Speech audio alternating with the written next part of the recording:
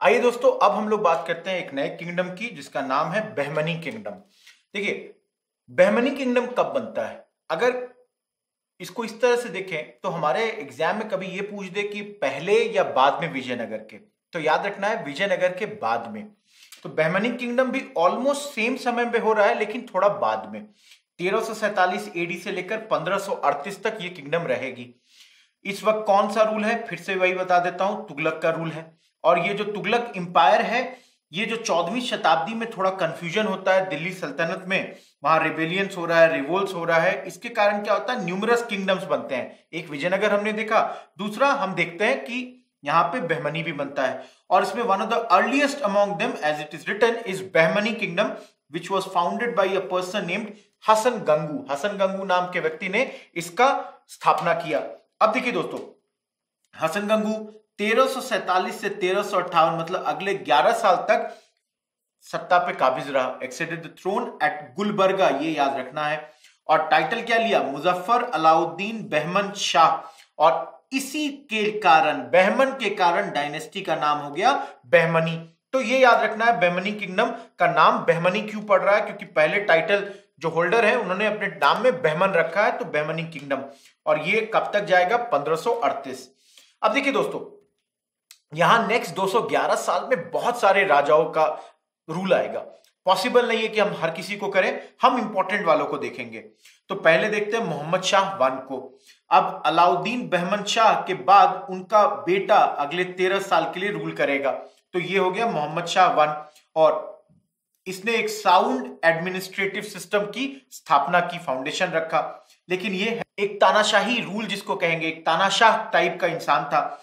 लेकिन ये चीज़ हमको याद रखना, पहली बार गन पाउडर का प्रयोग भारत में इस व्यक्ति ने किया था। और दोस्तों, ये सवाल बहुत ही कंफ्यूजन क्रिएट करता है लोगों को। कई लोगों को लगता है ये बाहर से आया था, मुगलों ने लाया था। जी नहीं, मुगल भी यूज़ करते हैं, लेकिन हमने पहले से यूज़ कर रखा था। Gun powder Mohammad Shah one ने यूज़ कर रखा था। इसी को आगे देखिए, एक और रूलर आते हैं, मुजाहिद शाह, जो तेरह से अठहत्तर रूल करते हैं। फिर मोहम्मद शाह दो, जो तेरह से तेरह रूल करते हैं। और ये व्यक्ति जनरस है पीस लविंग है।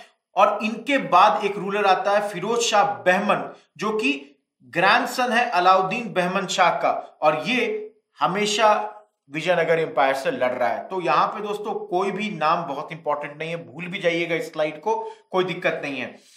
अब देखिए, इन्होंने हराया है देवराय वन को। ये जो फिरोज शाह है, ये देवराय वन को हराते हैं दो बार, लेकिन बाद में विजयनगर इंपायर और देवराय वन इसको हरा देते हैं। एक और नाम, अहमद शाह वन, जो 1422 से 1435 ये फिरोज शाह को सक्सीड करते हैं। और ये बहुत इंपॉर्टेंट है, इसने अपना कैपिटल गुलबर्गा से बीदर लेके चले गए। ये हमारे एग्ज़ाम के लिए इंपॉर्टेंट कौन कैपिटल को चेंज करता है गुलबर्गा से बीदर तो ये याद रखिए। इसके अलावा याद रखें, अहमद शाह वन को वली सेंट भी कहा जाता था बिकॉज़ ये सूफी सेंट गेसु दराज के साथ बहुत सम्मिलित रहता था, उसके साथ एसोसिएटेड रहता था। तो ये दोनों फैक्ट हमारे एग्ज़ाम के लिए बहमनी किंगडम से बड़ा इंपॉर्टेंट निकल रहा है। इसके अलावा दोस्तों, एक और रूलर है, इसके बाद 1435 के बाद अगले 22 साल के लिए अलाउद्दीन दो के बारे में ज़्यादा कुछ पढ़ना नहीं है। अब अगला रूलर देखते हैं, हुमायूं शाह, जो कि चार साल के लिए रूल कर रहा है। क्या होता है? ये भी एक तानाशाह है टायरेंट रूलर है। लेकिन इसने एक बड़ा इंपॉर्टेंट काम किया। मोहम्मद गवन को अपॉइंट किया अपने प्राइम मिनिस्टर के तौर पे। क्योंकि देखिए दोस्तों, ये इंपॉर्टेंट है। ये व्यक्ति बहुत इंपॉर्टेंट है। हुमायूं शाह उतना इंपॉर्टेंट नहीं है। एक ही चीज़ याद रखना है इसके बारे में कि किसने मोहम्मद गवन को अपना प्राइम मिनिस्टर नियुक्त किया या अपॉइंट किया तो याद रखने के लिए कि हुमायूं शाह ने। अब इसका एक निकनेम भी था, जालिम हुमायूं बिकॉज़ ये तानाशाह टाइप का रूलर है। इसको नीरो ऑफ़ द ईस्ट भी कहा जाता है। दोस्तों, ये फैक्ट है, इसको याद रखिए। अब दोस्तों, आइए महमूद गवन के बारे में। ये इस एम्पायर को इसके पीक पर पहुंचाता है। महमूद गवन के गाइडेंस में ये एम्पायर अपने पिनाकल जेनित पे जाता है। गवन हुमायूं, जो पिछला राजा था, उसके एक इन्फेंट इनफैक्ट मतलब संतान, जो छोटा बच्चा था, उसको नया किंग घोषित करता है। देखिए, महमूद गवन जो है, बहुत अच्छा तरीके से रूल कर रहा है लॉ एंड ऑर्डर मेंटेन कर रहा है वॉर्स लड़ रहा है, उड़ीसा में जीत रहा है, विजयनगर जीत रहा है, जो समुद्री लुटेरे हैं सी पायरेट्स हैं अरेबियन सी में उनको हरा रहा है। पहली बार ये लोग मराठा फाइटर्स को भी अपने आर्मी में रिक्रूट करते हैं, बहुत बड़ी संख्या में। इसके अलावा बहमनी एम्पायर कोंकण गोवा कृष्ण गोदावरी डेल्टा सब जगहों पे रही है। लेकिन यहाँ पे एक दिक्कत है। दिक्कत क्या है कि ये जो गवर्न है, ये भारतीय मूल का नहीं, ये बाहरी है। मतलब ये पर्शियन इमाइग्रेंट था। और इस कारण क्या हो रहा है, जो भारतीय नोबल्स थे, जिनको हम दक्षिणी नोबल्स कहते हैं दक्षिणी मतलब साउथ वाले, वो जेलस फील करने लगे और इन्होंने एक कंस्पेरेसी की और इस आदमी को मरवा दिया मोहम्मद शाह थ्री के हाथों। प्रॉब्लम क्या हुई? ये बंदा जब तक था रूल अच्छे से चल रहा था, अब नहीं चलेगा, क्योंकि इसके बाद के जितने भी रूलर हैं, सारे वीक हैं, अच्छे नहीं हैं और बहुत जल्दी क्या होता है? इस पूरे इंपायर का डेथ आने वाला है। मोहम्मद शाह तीन के सारे रूलर्स वीक और इनकेपेबल है उसके उत्तराधिकारी। और लास्ट प्रिंस कौन है? कलीमुल्ला, जिसको मार दिया जाता है उसके वज़ीर आमिर अली बारिद के द्वारा। और इसके बाद वो अपना डायनेस्टी शुरू करता है बारिद शाही डायनेस्टी बीदर में। दोस्तों, यहाँ से ये बहमनी किंगडम बढ़ जाती है और पाँच सेमी इंडिपेंडेंट किंगडम्स बन जाता है, जिसके बारे में हम लोग अब चर्चा करेंगे, जिसमें पहला चर्चा होगा बीजापुर का। चौदह से सोलह लमसम में ये किंगडम रहती है। फाउंडर कौन है? यूसुफ आदिल शाह। इसके अलावा इस डायनेस्टी के लोग शिया सेक्ट को बिलोंग करते हैं। आबिद शाह वन इस बीजापुर आर्मी के लीडर हैं, जो कि गोलकंडा, बीदर और अहमदनगर के साथ बैटल ऑफ़ तालीकोटा में विजयनगर के खिलाफ शामिल हुए थे। इस बैटल की चर्चा हमने कर रखी है जब हम लोग विजयनगर एम्पायर बात कर रहे थे। इनके बाद इस को सक्सीड करता है इब्राहिम आदिल शाह टू, जो कि एक अच्छा रूलर था फ़ेमस रूलर था, लेकिन इसके बाद इस डायनेस्टी का रूल घटने लगता है। दोस्तों, बीजापुर से रिलेटेड हमारा आर्ट एंड आर्किटेक्चर बहुत इंपॉर्टेंट है, जिसको हम लोग नेक्स्ट स्लाइड में करेंगे। यहाँ पे एक ही चीज़ देखना है कि कब तक ये एम्पायर रहा? सोलह मतलब औरंगज़ेब ने इसको एनेक्स कर लिया। तो अगले स्लाइड में देखिए, ये आदिल शाह जो हैं, बड़े ही बेहतरीन आर्ट एंड आर्किटेक्चर के क्षेत्र में हैं। इन्होंने कुछ बेहतरीन बिल्डिंग्स बनाई हैं अपने एरिया में, और ये याद रखिए, इब्राहिम रोजा मॉन्यूमेंट का नाम है। इंपॉर्टेंस क्या है? ये टॉम्ब है इब्राहिम आदिल शाह का और उसकी क्वीन ताज सुल्ताना का। गगन महल, ये क्या है? एक पैलेस है जिसको बनाया अली आदिल शाह वन ने, और ये रॉयल पैलेस है, इसमें दरबार हॉल भी है। इसके अलावा गोल गुंबद जो सबसे फ़ेमस है मुजलियम था मोहम्मद आदिल शाह का one of the world largest domes तो दोस्तों, ये तीनों याद रखिए एग्ज़ाम में आ सकता है। इसके अलावा दोस्तों देखिए दोस्तों, बीजापुर के बाद दूसरा इंपॉर्टेंट आ गया गोलकंडा। और ये 1512 से सोलह फिर से यहीं पे दिख रहा है कि इसको कौन ऑक्युपाई करेगा? औरंगज़ेब। तो इसको कौन फाउंड करता है? कुतुब शाह। और ये डायनेस्टी नाम आता है कुतुब शाही। तो यहीं पे दोस्तों एक टाइप का क्वेश्चन आता है, जिसमें ये पाँचों किंगडम लिख देगा और उनके डायनेस्टी का नाम आपसे पूछ देगा। तो पिछला था आदिल शाही डायनेस्टी ये हो गया कुतुब शाही डायनेस्टी यहाँ का ग्रेटेस्ट रूलर इब्राहिम कुतुब खान, इसलिए नाम आ गया कुतुब शाही डायनेस्टी का। साल नहीं याद रखना है दोस्तों, और ये अच्छा लीडर है टॉलरेंट लीडर है सेकुलर लीडर है।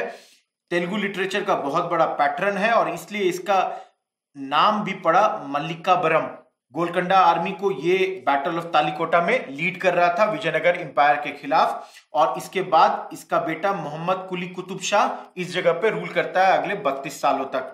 मोहम्मद कुतुब कुली शाह ने ही चार मीनार कंस्ट्रक्शन कराया हैदराबाद में और सिटी को भी इसने स्टैब्लिश किया था। किंगडम को औरंगज़ेब, जैसे मैंने शुरू में ही कहा, सोलह में कैप्चर कर लेता है। गोलकंडा के बाद अहमदनगर 1490 से 1633 बहुत क्लियर है, यहाँ पे कौन होगा? शाहजहां है, मुगल रूलर जिसने इसको ऑक्युपाई किया। तो यहाँ कौन फाउंडर है? मलिक अहमद। और किंगडम का नाम क्या है? और इसका एक और नाम था अहमद बाहरी निज़ाम शाह। यहाँ पे याद रखनी बात क्या है? किंगडम का नाम क्या है? निज़ाम शाही डायनेस्टी तो हमने देखा, आदिल शाही हमने देख लिया, हमने कुतुब शाही देख लिया, अब हम देख रहे हैं निज़ाम शाही डायनेस्टी मलिक अहमद, अहमदनगर डिस्ट्रिक्ट को फाइंड करता है। बहुत इंपॉर्टेंट है, ये याद रखिएगा थर्ड फैक्ट सेकंड फैक्ट के अलावा ये फैक्ट भी आपको याद रखना है। हुसैन निज़ाम शाह वन भी एक इंपॉर्टेंट रूलर है इस डायनेस्टी के, और इन्होंने इस आर्मी को तालिकोटा बैटल में लीड किया था। तो हम ये भी देखते जा रहे हैं कि तालिकोटा बैटल में कौन कौन से लोग आर्मी को लीड कर रहे थे अपने अपने एम्पायर की तरफ़ से। दोस्तों, अहमदनगर में एक इंपॉर्टेंट नाम जो आपको हमेशा याद रखना है, वो है चाँद बीबी का। सोलहवीं शताब्दी में चाँद बीबी, जो डॉटर थी हुसैन निज़ाम शाह वन की, वो डी फैक्टो रूलर बनी अहमदनगर की।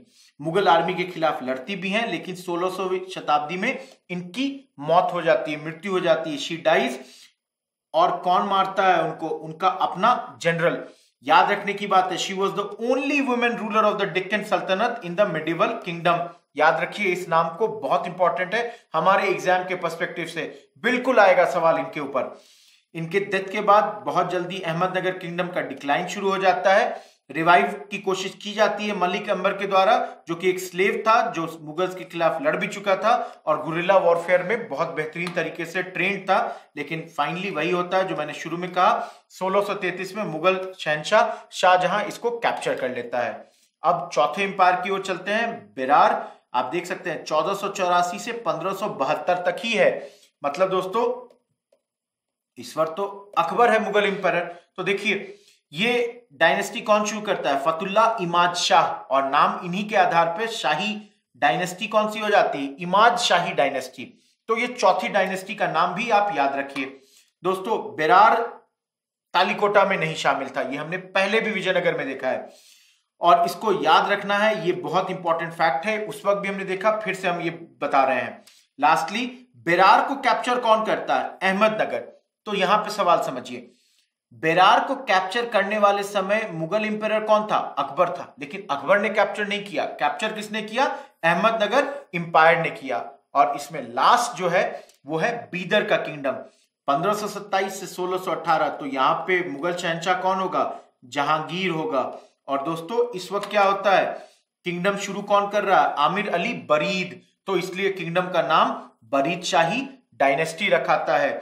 और यहाँ पे याद रखें 1618 में सुल्तान इब्राहिम आदिल शाह जो बीदर को अटैक करता है और एनेक्स करके इसको बीजापुर किंगडम में मिला लेता है।